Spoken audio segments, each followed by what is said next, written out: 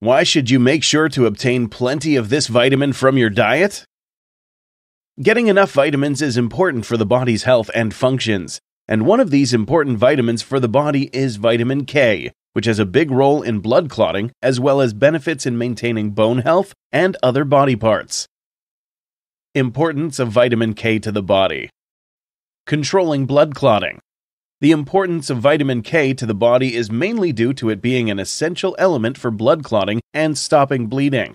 Blood clotting involves a series of processes and steps, each with an enzyme or an important factor to stimulate its occurrence, one of these factors being prothrombin. One of the most important benefits of vitamin K is helping the body produce prothrombin and activating its work, thus having a major role in the process of blood clotting and stopping bleeding.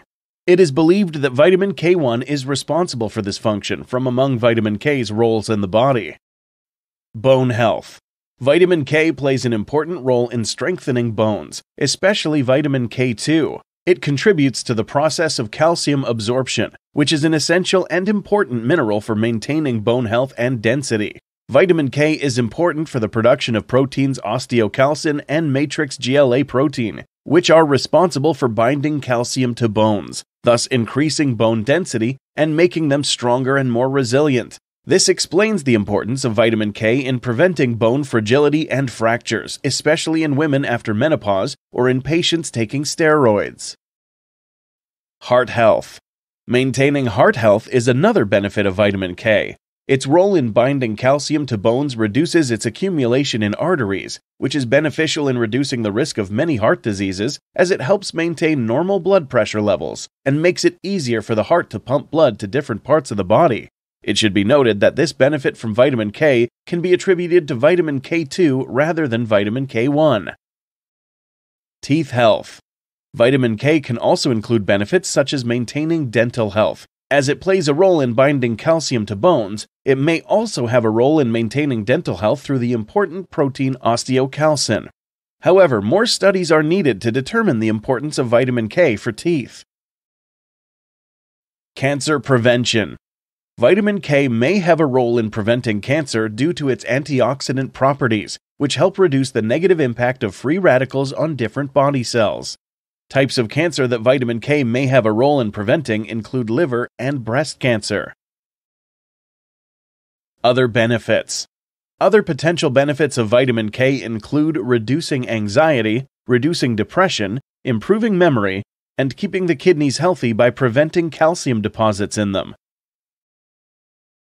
Do sources of vitamin K differ in types?